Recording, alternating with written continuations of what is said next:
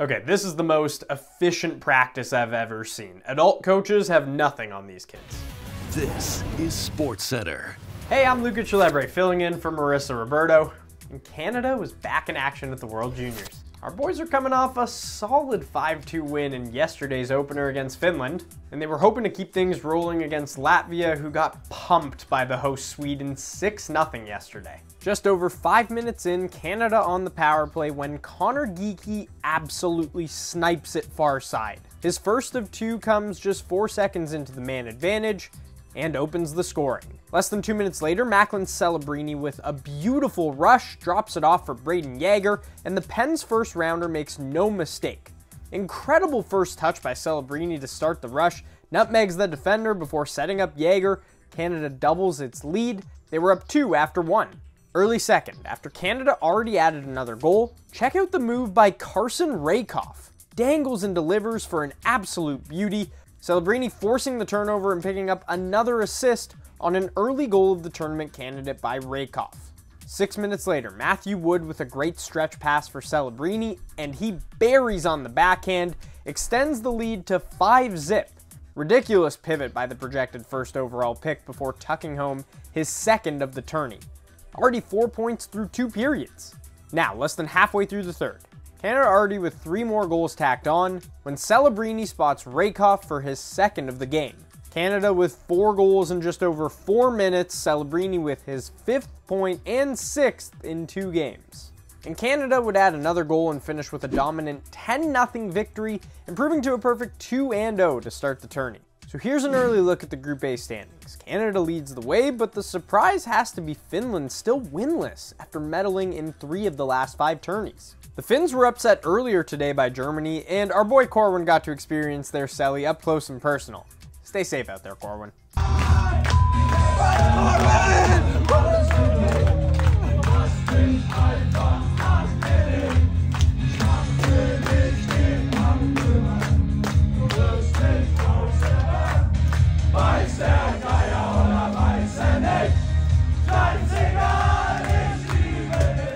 In Canada's next game of the prelims comes your way Friday, when they face their stiffest competition yet in the host Sweden. Coverage for that one begins at 1 p.m. Eastern, 10 a.m. Pacific on TSN. All right, it's time to bring in some BarDown friends from Sweden. It's Jesse Pollock. Jesse, how you doing, buddy? What's up, Chili? Wrapping the old school TSN shirt, baby. All right, you guys have been pumping out a ton of content so far from the tournament. Who's been your favorite player to watch up close, though? I think of all the players I've had the pleasure of watching so far, Lane Hutson's got to be number one for me. I mean, this guy kind of looks like a mini Cale Makar, which I know you'd love, Luca.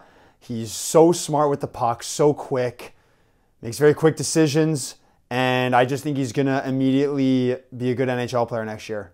Speaking of content, we've seen some weird pre-game routines. I feel like we always see it at these tournaments a little more. Is there someone's routine that stands out to you guys as being maybe the weirdest? There have been some weird pregame routines. I know Corwin pointed out Conor Geekie's, which was very strange. He like walks backwards off the ice. It's like nothing surprised me with that guy, hey? But another guy who has a bit of a weird one was Rutger, my boy Rutger McGroarty from your Winnipeg Jets. He was doing like this kind of strange stick handling thing. I don't know if it's because he obviously was like coming off of an injury or something, or he's getting used to his hands back, but I don't know. It was a little weird. And lastly, I can't let you go without asking about food. What's the best thing you've eaten so far in Sweden? And please tell me it's meatballs. The craziest thing Corin and I have eaten so far was steaks that we actually had to cook ourselves on Blackstone. And honestly, I think not cooking my steak enough may have caused me to get a little sick. I've been in my hotel room all day. My stomach has not been feeling well. So that's probably it. Thanks, Jesse. Appreciate it. Thanks, Luca. You may have seen some memes this weekend about what Detroit had to sacrifice for the Lions to win the NFC North for the first time.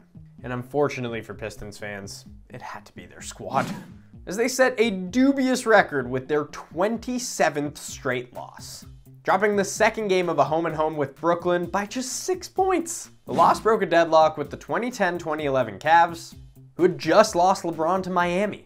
And the trust the process Sixers from a decade ago for the longest skids within a single season.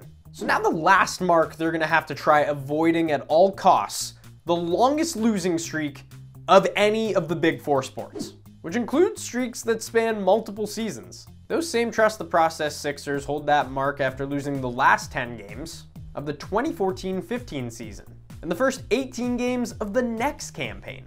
Now here's a different way to look at it. Ja Morant has already led Memphis to twice as many wins as the Pistons in just his first week back from suspension. While the Rangers and D-backs won World Series games more recently than the Pistons have won. Arizona's only win in the Fall Classic actually wrapped up about 90 minutes after, Detroit's last win on October 28th. So when will the streak end? Detroit's last two chances to avoid this final mark of shame just so happened to be the final games of the calendar year. They've got one in Boston, who are a perfect 14-0 at home, and then home against Toronto on Saturday. With the Raps traveling from Boston on the second end of a back-to-back, -back, this spells us. We are, we are gonna be the one. So it seems the stars are aligning that way, but then again, this Pistons team is just really, really bad. For more on whether the odds could truly be in Detroit's favor against Toronto, it's our gambling guru, Wes Chang. Thanks for joining us. Thanks for having me. So, FanDuel's got that game against the Raptors as Detroit's best chance to end this losing streak over the next three weeks. At plus 180, is that enough value for you to actually suggest betting on the Pistons against the Raptors Saturday night. I don't want to be the guy to rag on the Raptors, but let's just say I know some people who got this bet at plus 500 a week or two ago as the streak was really building up. The reality is, Toronto at this date should be at that price. There's only one game in between for Detroit. It's the Celtics. That's likely not going to happen. Hypothetically speaking, if the Raptors do lose this game, break the streak for Detroit, I do worry it will be a major catalyst, kind of the straw that breaks the camel's back, that forces the front office's hand to really start looking into making a move and recalculate what the future is going to be for this team. Before we get there, the Raptors are actually back in action tonight, trying to snap a three game losing skid of their own. So they kick off a three game road trip to end the year in Washington. What's your best bet for tonight? I like Daniel Gafford to go over 11 and a half points, which is the line currently set on FanDuel. If you look at the game log of rim running centers against the Raptors this month, it's been really bad. I'm not even including guys like Nikola Jokic or Joel Embiid. Look at guys like Nick Richards, Clint Capela, both centers who played the Raptors twice this season, they've all scored well above their season averages. Toronto's defense has been really porous in the month of December. Daniel Gafford's in a really good spot here. He's way more involved in the offense versus the beginning of the season. He's up to 13.9 points per game in December. He's covered this line 7 out of 10 times this month. I think it's a really good spot for him against this Raptors defense. Great to see you again, Wes. Thank you. You too, Luca. The holiday break is officially over in the NHL, and we're back with another round of the Battle of Ontario tonight in Toronto. The Leafs come into this one with a 2-2-1 record in their last five games, and their sights are set on closing that gap between them and Boston for first place in the Atlantic. Meanwhile, the Sens are just trying to get out of the NHL's basement, having lost seven of their last 10 games overall. The story on the Toronto side of the matchup is none other than Auston Matthews. he's probably the only player that wanted to play through the holidays, because he's scoring at an unbelievable rate. Matthews has scored in seven straight games and he's lit the lamp 14 times in his last nine outings which is one less goal than the Sharks have scored in their last seven games combined as a team. And Matthews isn't the only one scoring for Toronto over this torrid stretch. Mitch Marner has 8 of his 13 goals this season in the last 11 games alone. And even though William Nylander has only scored 4 goals in his last 11, he's still producing with 18 points during this streak. This is all bad news for Ottawa because they absolutely leak goals. We're talking the fifth worst goals against per game as a team, and the second worst penalty kill percentage at 71.3%.